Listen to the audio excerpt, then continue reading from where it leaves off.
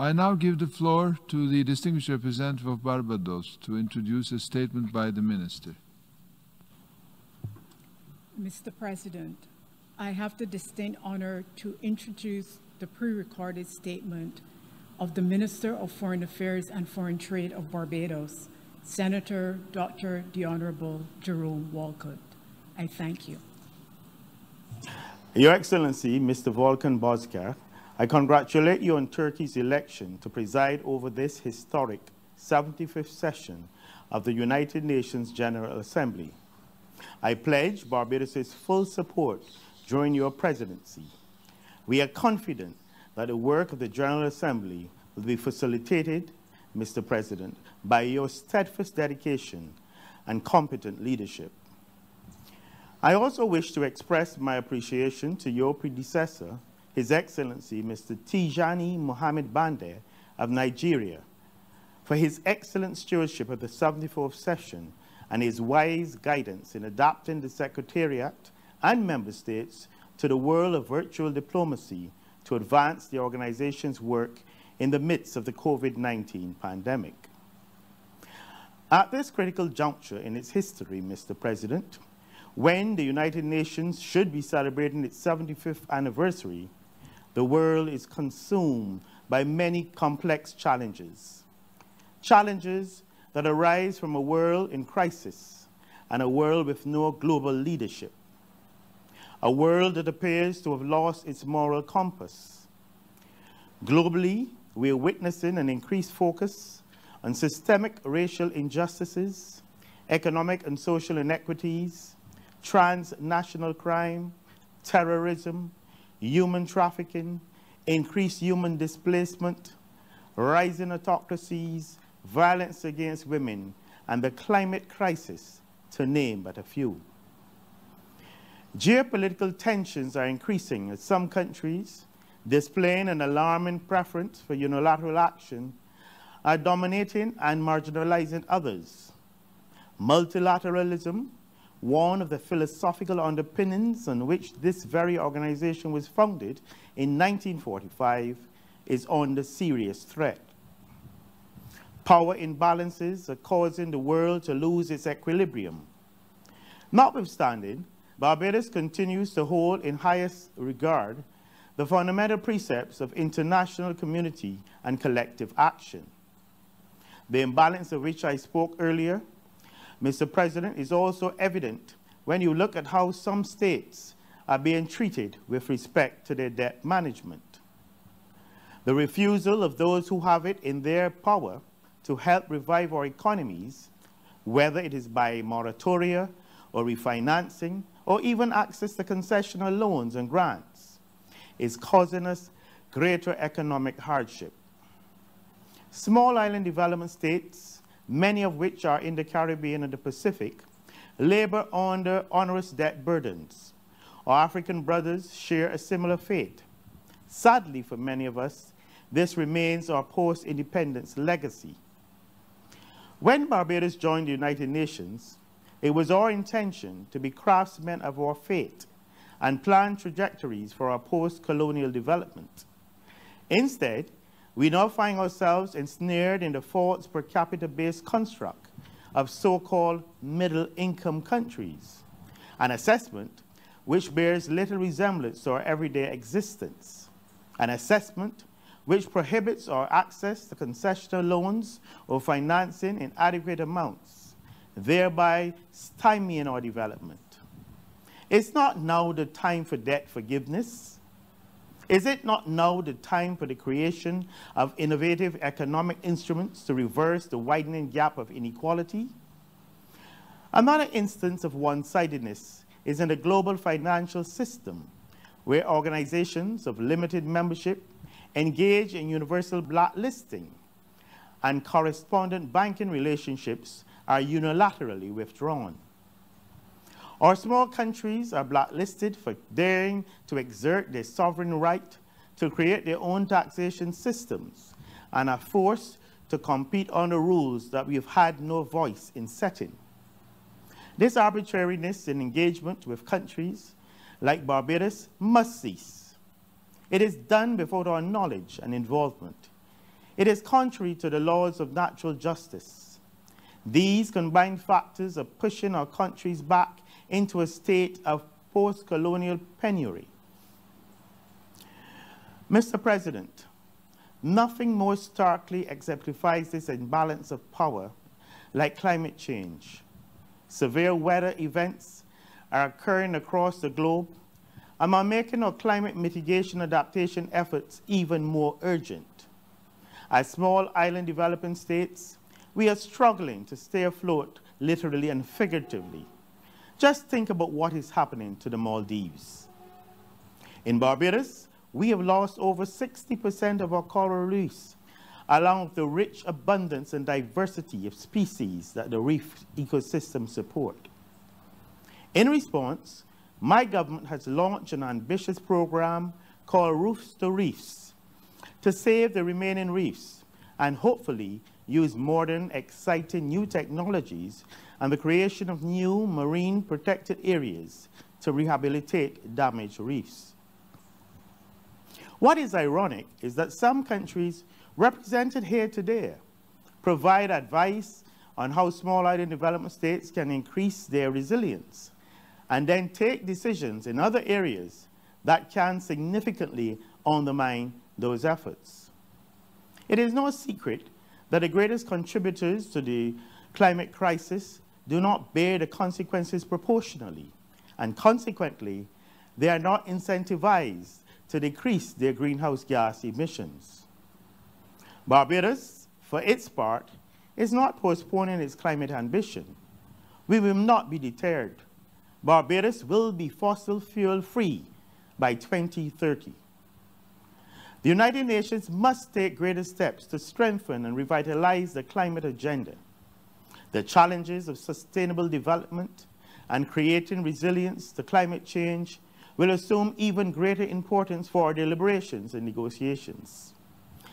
The UN will of necessity have to thread the needle carefully on these issues, some of which are of an existential nature for our countries.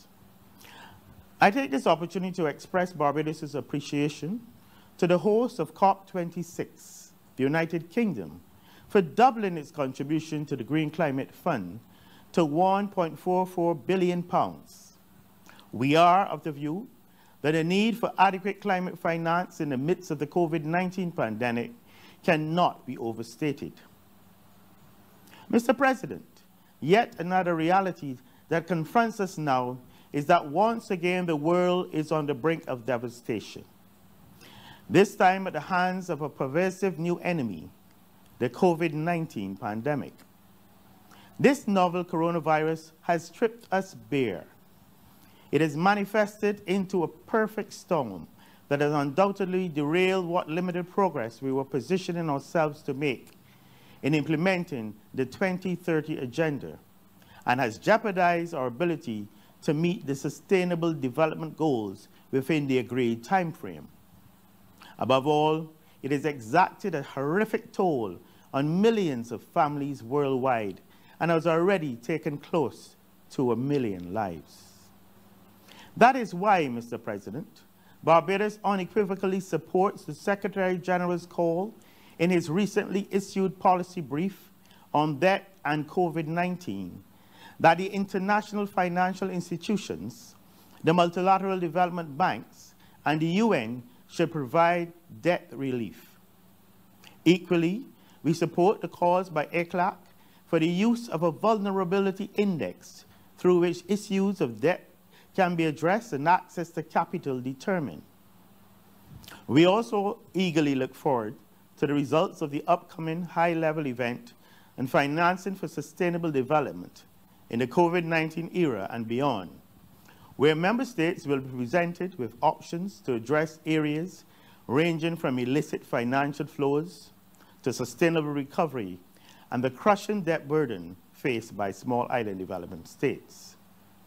We are resolute in our view that debt relief and support measures or additional financing cannot be bound to any conditionality Barbados is also supportive of the UN's Economic Commission for Africa in its call for the creation of a special purpose lending vehicle the Liquidity and Sustainability Facility to support African, Latin American, and Caribbean countries in advancing sustainable development initiatives and more immediately facilitating access to liquidity, lending, and investment.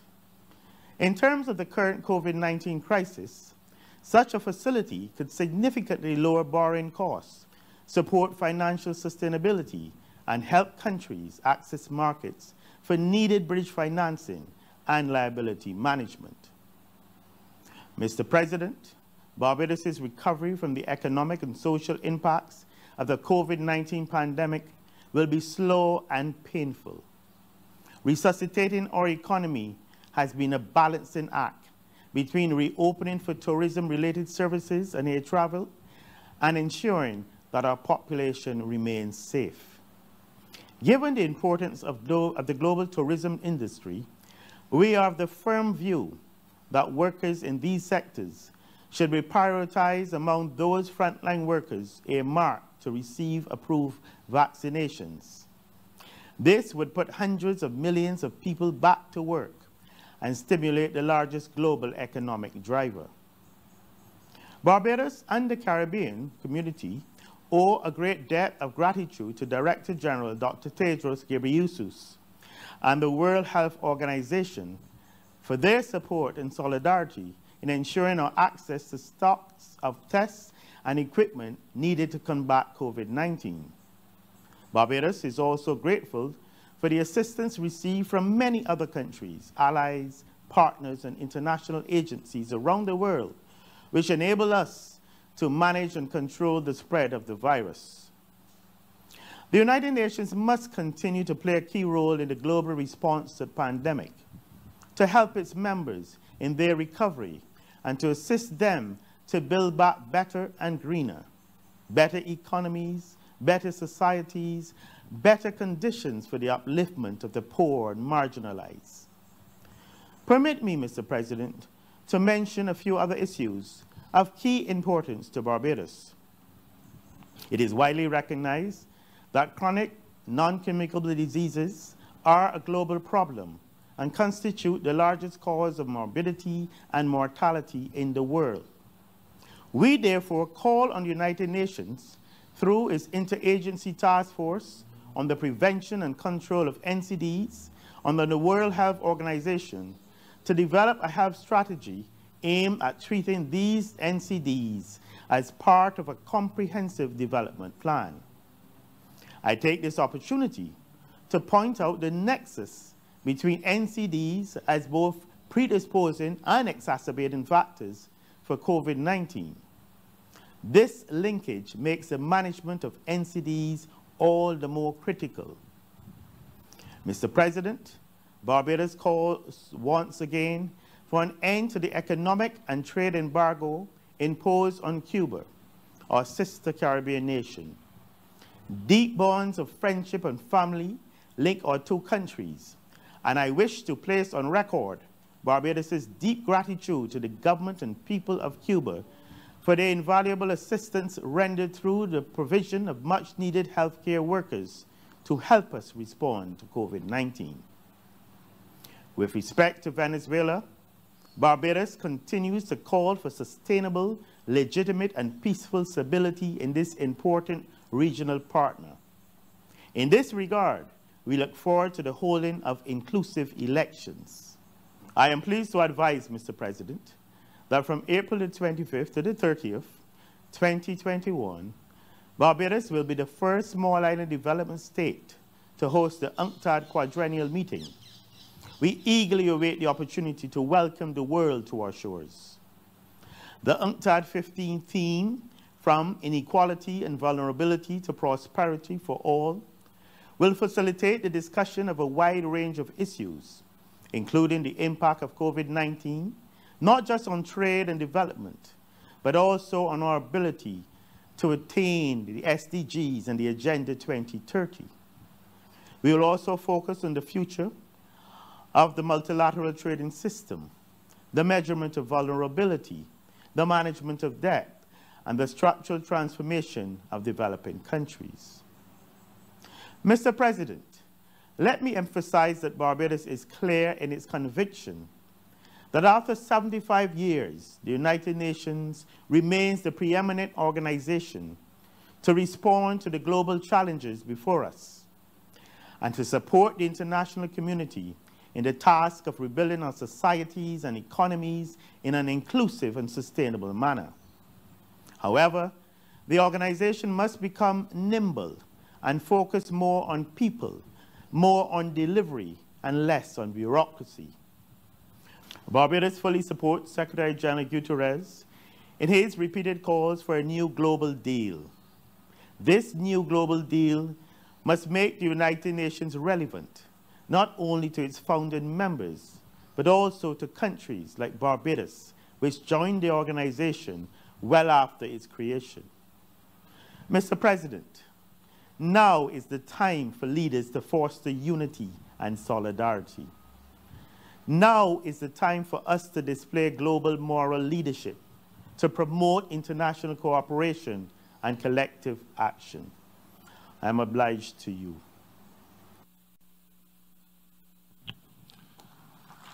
On behalf of the General Assembly, I wish to thank the Minister for Foreign Affairs and Trade of Barbados for the statement just made. I now give the floor to the distinguished representative